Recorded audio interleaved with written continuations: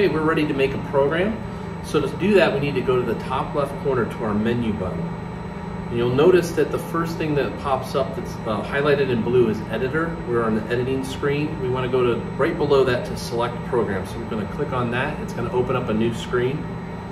And on the top right corner, we have a couple icons. We have open, you can open existing program, we can create a new program, or we can delete an existing program.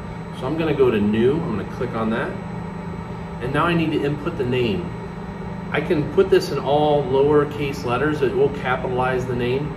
We cannot put in spaces between words. So let's call this test program. So I'm gonna type in test, and then on the bottom left of my keyboard, I have a special characters button. I'm gonna click on that. And then right below the six is my underscore. And I'm gonna go back to my letters. And now I'm gonna type in program. And I'm gonna hit OK. And then the next thing that comes up is an edit attribute page. We can just acknowledge that and hit OK. And now we have a new program that's open called test program.